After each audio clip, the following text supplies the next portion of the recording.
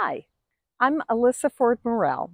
I'm an Extension Master Gardener with the Master Gardeners of Northern Virginia, here to talk about an invasive plant, Lonicera japonica, honeysuckle, that a lot of us find cropping up in our backyard. Before we get going on that, I want to make sure that we're all on the same page about what it means to be invasive. Invasiveness was defined in 1999 when President Clinton signed Executive Order 13112, which was later amended by President Obama. The definition says that an invasive plant is not native where it's occurring, that it is capable of escaping cultivation and getting into the wild, outcompeting the native plants, and that in so doing, it causes harm harm to the economy, harm to human health, or harm to the environment. Most of the invasive plants that we talk about have uh, uh, are capable of creating harm for the environment. Honeysuckle, Lonicera japonica, as I said, is still, it's very widely available in the nursery trade, but most of the people that I know, if they have it, didn't plant it. It just showed up in their yards because that's what it does. So this is a flower that is very attractive. People really like it. Uh, here you see the new bloom in white and the older bloom has turned a yellow color. It is very nice smelling, um, hence the name honeysuckle, kind of a honey scent that's rather nice.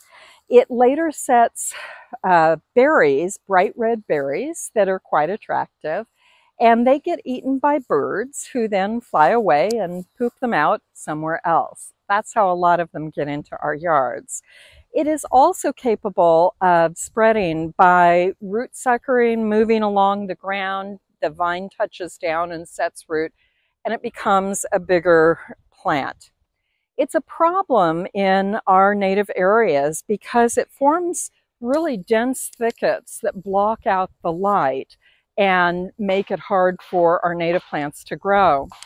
It also, when one of these vines hits a small trunk of a young tree, will twist around that tree. And as the tree tries to grow, the trunk cannot expand because the vine is so tightly around it and it will eventually be choked out and that young tree will die. So it really is a problem. It was first introduced to America back in 1806 in New York and it is considered an invasive basically across the entire eastern seaboard from Maine down to Florida as far out as Texas it's a problem. The best way to get rid of it is um, if it's a small plant, you can probably easily hand pull it out by the roots, which will certainly get rid of it. If it's more established, you may need to cut it down to the ground multiple times or use a systemic herbicide, which should do the trick. You may need to keep going on it several times though.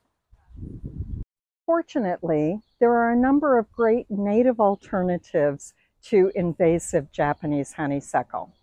We're going to start with the most obvious, which is our native honeysuckle, Lonicera sempervirens. We're in my own front yard with my Lonicera sempervirens that I'm incredibly proud of. This is an incredibly vigorous vine. It can grow up to 20 feet tall, so you need to plan for that space. If you prefer something a little smaller, there is a cultivar of Lonicera sempervirens called John Clayton that only grows 6 to 12 feet tall. It's a little bit different because unlike the red and yellow flowers, the John Clayton is only yellow. And it's very pretty, very nice if you want a slightly smaller one. If you want to grow one of these, you need some space and sun. It really likes sun. It also likes moist soil. It doesn't want to be dry all the time. Um, it's not really prone to a lot of problems. Deer sometimes like to browse on it. I've had that happen here. It is subject to um, midsummer mildew that um, actually this one has a touch of right now. Um, this is past its big bloom, which is in early spring, and it is spectacular when it's fully in bloom. I'm so proud of my plant when it looks so glorious. It does have a little bloom right now, and it will keep having some blooms through the summer. Uh, and what I want to point out to you is how interesting the leaves are. Most of the leaves are opposite each other, but right before it blooms, it has this interesting pair of clasping leaves, and the bloom comes from that. The um, plant is a very happy plant, and um, hopefully you will be happy with one in your yard. The second native alternative is Clematis virginiana, Virgin's Bower. It's a beautiful version of clematis. You're probably familiar with the showy garden clematis that have big colorful blooms. This is quite different than that, but it makes up for the lack of color and individual showiness by having hundreds, if not thousands of tiny white star-shaped blooms that really look like botanical lace. I just love it. And so do all the pollinators that flock to the Virgin's Bower. I am astonished every year when it is in full bloom, it blooms for about two weeks in the summer, at the variety of different insects that come to visit it and seem so excited to be there. I cannot identify all of them. I think I'd need to be an entomologist in order to do that. But it is a beautiful thing. Now, this is a big, big vine. It can grow up to 20 feet tall and 12 feet wide. So don't plant it without a good plan as to what you're going to do with it. I actually have mine hanging below my bay window, and it makes a, a beautiful show when it's in bloom. Um, so do be careful about that. It's an interesting plant in that it can be dioecious, meaning that the plants may be male versus female, but some of them are both. Um, if it's both, then it will pollinate itself. If it's not, then you need one of each in order to set seed that can grow. Other than spreading by seed, it will grow when the vines touch down and root and can make a, a dense mat that way if you let it touch down.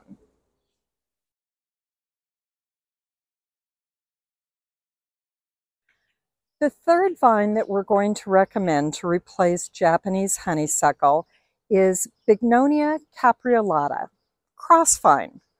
This is a wonderful and somewhat lesser known uh, native vine that we really like. We have it here in the Glencarlyn Library Garden, growing on a fence dividing our garden from the playground next door. And this is one of the great characteristics. Because it is semi-evergreen, the leaves persist into winter, it becomes really nice for providing privacy. Uh, and that's how we use it here. Uh, it is perhaps the largest vine that we're recommending because it can grow to be 20 to 45 feet high if it has a structure to grow on. Here it's not growing that high, it can only grow as high as the fence is. But you can see here it's got the little baby tendrils that are just coming out. And if there were something for them to cling on to, they would cling up and hitch themselves up. That's how it climbs.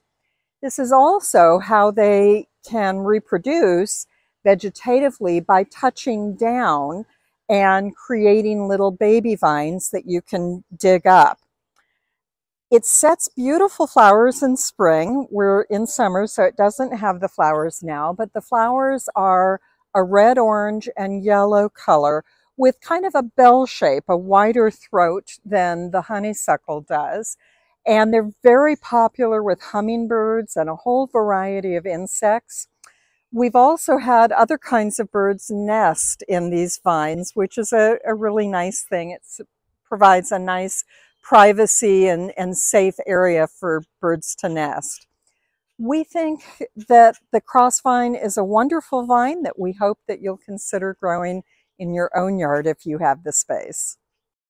Whichever vine you use to replace Japanese honeysuckle, I wish you happy gardening.